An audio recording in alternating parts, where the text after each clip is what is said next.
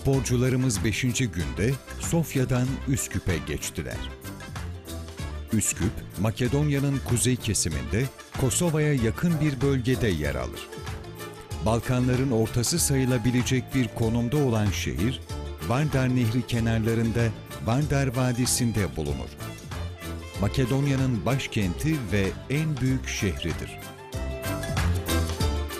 Sporcularımız Üsküp'e vardıklarında onları Adnan Bey karşıladı. Sıcak bir kucaklaşma sonrasında Adnan Bey arabasıyla sporcularımız bisikletleriyle şehir merkezine doğru ilerlediler.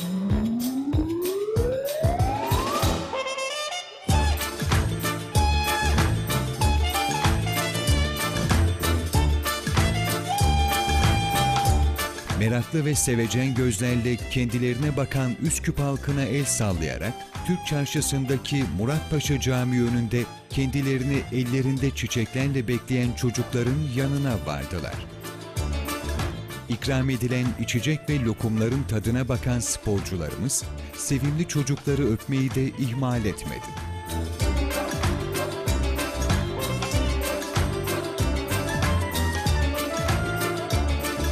Daha sonra Türk çarşısında esnafla sohbet edip onlara şemsiye ve şapka hediye ettiler.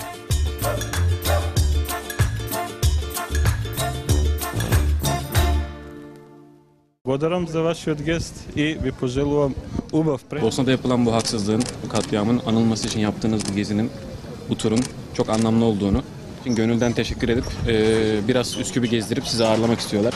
je pat simbolika da je Anlamı büyük olan geziniz için başkanlar olarak teşekkür ediyorlar. Bu zamana kadar yapılan bütün bu zulümlere bir karşı çıkmak olarak görmek istiyoruz bu yolculuğu.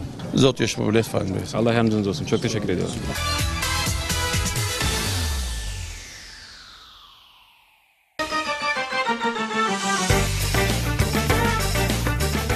Altıncı güne Üsküp'te uyanan dört genç sporcumuz şehir merkezinde geziyor ve çocuklara şeker dağıtıyorlar.